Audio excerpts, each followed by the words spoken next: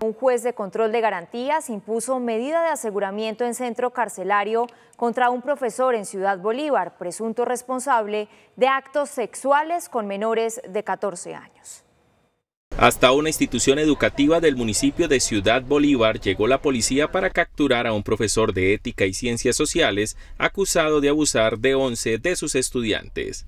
De acuerdo con la investigación adelantada por un fiscal de la seccional Antioquia, entre febrero y abril de este año, el presunto victimario le habría realizado tocamientos de carácter sexual a 11 estudiantes de una institución educativa del municipio de Ciudad Bolívar. El caso está en manos de la unidad de género de la Fiscalía.